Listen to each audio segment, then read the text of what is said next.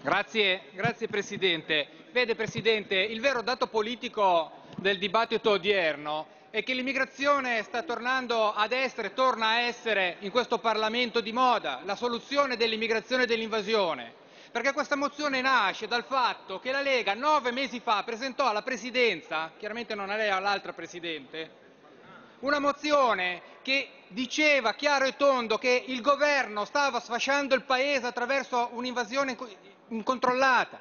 Dopo nove mesi, dopo aver mandato a casa da quella casa un ministro incapace che proprio per le sue incapacità è stato rimosso ed è stato promosso. In Italia è tipico, quando uno non è capace a fare il suo lavoro lo si promuove per toglierselo dalle scatole.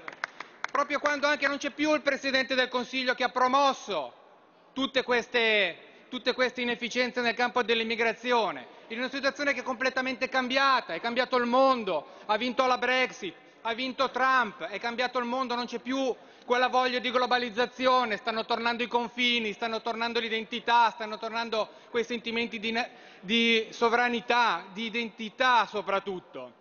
E quindi tutto l'arco costituzionale si converte al leghismo, si converte a tutte le politiche che la Lega da sola, in solitaria, è criticata da tutti, ha portato avanti da anni. Ci avete dato dei Collega Fiano. xenofobi, ci avete insultato come dei cani e oggi il Partito Democratico viene forse con Minniti, che sarebbe stato interessante averlo qui nel dibattito del plenum della Camera, non in una commissione forse quasi segreta. Portare qui dove venire Minniti ad ascoltare il dibattito sull'immigrazione. E il Partito Democratico viene qui e propone le stesse, quasi le stesse soluzioni che la Lega da sola, da sempre, ha portato in dote al Paese. Le espulsioni, subito, immediate, però voi avete tolto 90 milioni dal fondo rimpatri e l'avete messo nel fondo accoglienza, ma l'avete fatto voi con il voto probabilmente anche degli amici di Forza Italia che fortunatamente pian pianino stanno ritornando sulle posizioni del governo Berlusconi, quando però il ministro che teneva la politica dell'immigrazione era della Lega, il ministro Maroni. Quando, quando c'eravamo noi al governo, delle 37.000 sbarchi del governo Prodi del 2008 scesero con gli accordi e i correspingimenti e soprattutto con quel sentimento politico che faceva sì che gli scafisti avevano il terrore di fare gli scafisti. Non c'era il tam venite in Italia perché si sta bene, vi diamo 35 euro al giorno, telefonino, vitto, alloggio e probabilmente anche, qualche, anche altre cose alla sera.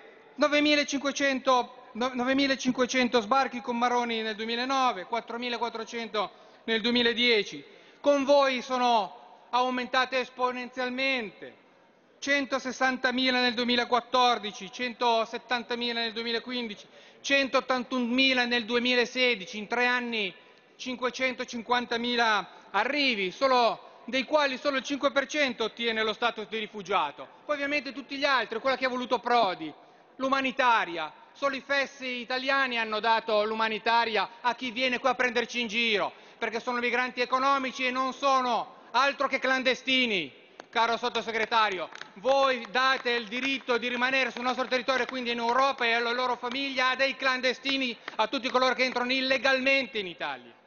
Entrano illegalmente nel nostro territorio, tanto che chi ottiene lo status di rifugiato sono solo 15.000 unità pari al 3% di chi, chi richiede, perché poi qua tutti parlano di numeri, parlano di accoglienza caritatevole. Sta di fatto che dei 550.000 persone, delle 550.000 persone che arrivano, solo 290.000 chiedono il riconoscimento dello status. Quindi ne mancano già 260.000 all'appello che nessuno sa dove siano andati a finire.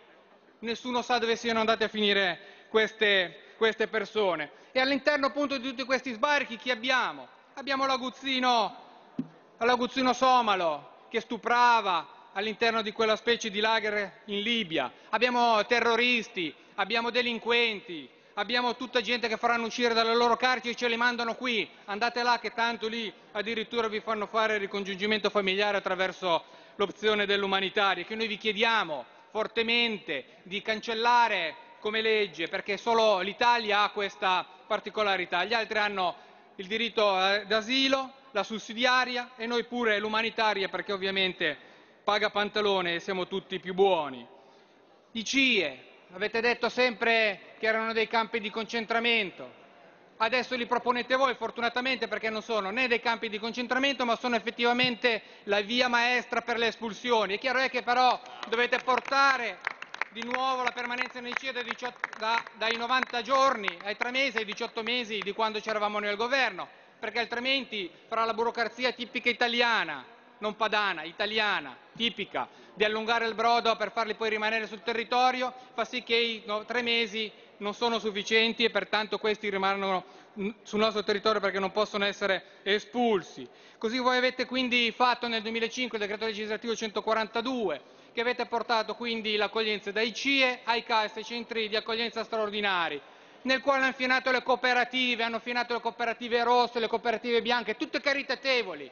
Sta di fatto però che si intascano 3 miliardi all'anno di fondi pubblici e non mettiamo i soldi per la povertà nazionale, per i nostri concittadini che non hanno, non hanno la possibilità di un sussidio, non hanno la possibilità di aiuto, tanto che il disegno di legge sulla povertà, di cui abbiamo dibattuto fortemente in quest'Aula, è fermo da un anno e mezzo al Senato perché voi dei poveri italiani ve ne fregate totalmente. Ve ne fregate totalmente.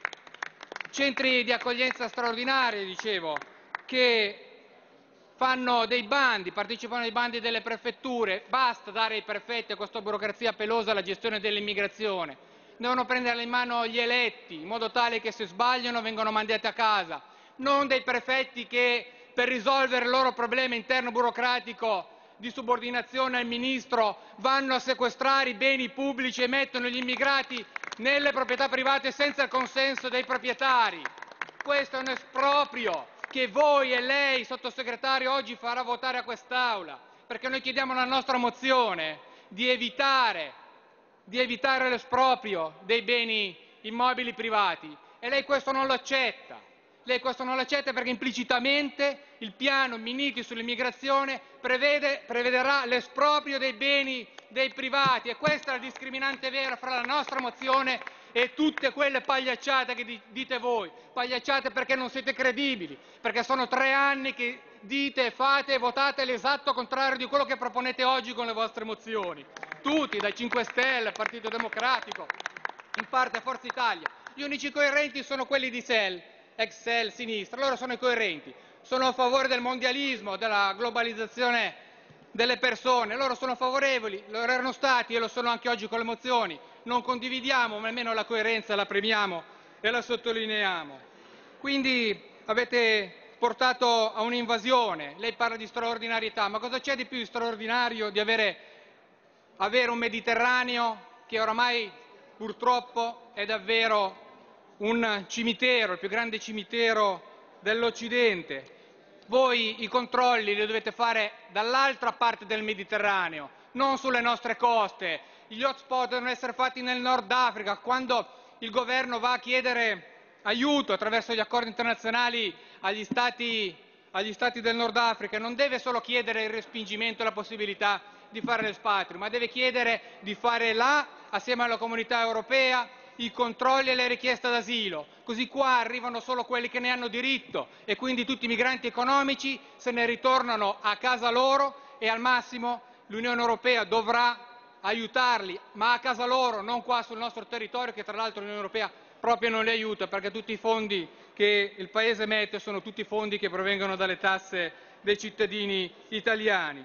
Quindi una difesa dei confini che deve tornare, non possiamo utilizzare la nostra marina per andare a prenderci o farci invadere. È un'assurdità che neanche, che, che neanche un pazzo potrebbe, potrebbe creare, neanche in un film di fantascienza sarebbe mai stato previsto che l'esercito di un paese venisse utilizzato per far invadere il paese a cui questo si riferisce. E quindi il grado di giudizio, quando lo diceva la Lega, un grado di giudizio contro i respingimenti di asilo, lo diceva la Lega, era impossibile, adesso lo dice il Partito Democratico e va bene.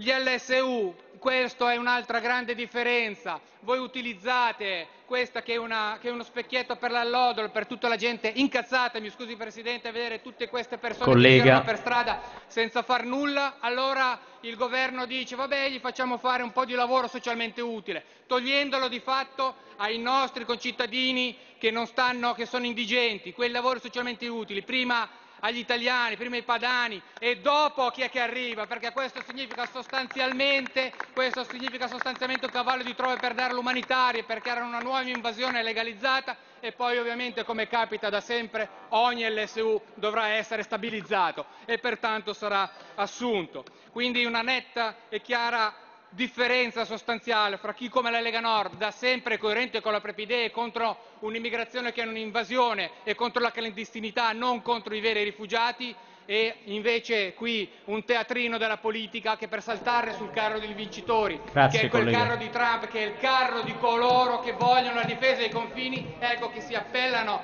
a questo sentimento diffuso di difesa della nostra identità e fanno delle emozioni che noi le troviamo ridicole proprio perché provengono da persone che non sono Grazie. dimostrate affidabili. Grazie.